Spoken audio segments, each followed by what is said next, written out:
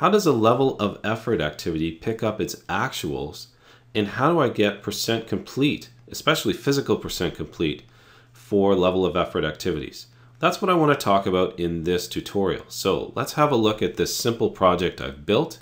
It has three activities, all with finish start relationships. There's my critical path.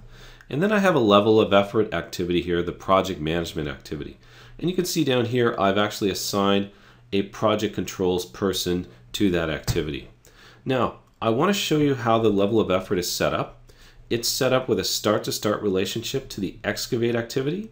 So that allows the level of effort activity to pick up its start date from the excavate activity, and it has a finish-finish relationship in the successor area with a the build activity, in that it allows it to pick up the finish date from build and the start date from uh, excavate. And that's what level of effort activities do. They pick up start and finish dates from their predecessors and successors, and they have an auto calculated duration. So if these activities expand, the duration of the level of effort will expand as well. Now, how do we get actuals and how do we status that level of effort activity? Well, it's much easier than you think. Level of effort activities actually pick up status from the activities that they quote unquote summarize. So I say that this level of effort is summarizing these three activities. Let's have a look. So let's go ahead and status our excavate activity. Let's mark it started. Let's indicate that we've done 20% of this work and that there's four days left. I'll go ahead and reschedule the project, moving my data date forward one day. Move it over here to the Monday. And what you should see now is that we have actuals up here on Excavate and we have actuals picked up here on the project management activity.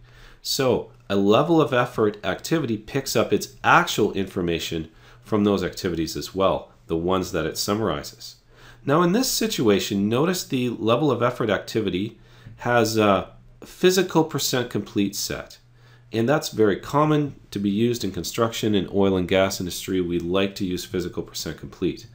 So you can see here that it has a duration percent complete of 6.67%, but it actually has no physical percent complete set because when I use physical percent complete, I need to manually status that field.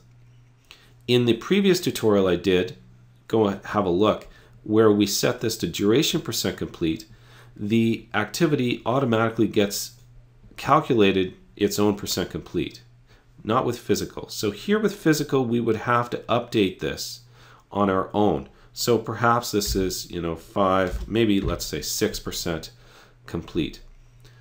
And when I enter that field in, we'll now see it displayed up here. Now, if you're using earned value and you want to track earned value on a level of effort, you'll need to use your physical percent complete in the most optimal settings. So hopefully this tutorial was helpful for you. How do you get physical percent complete on a level of effort and how does a level of effort calculate its actuals?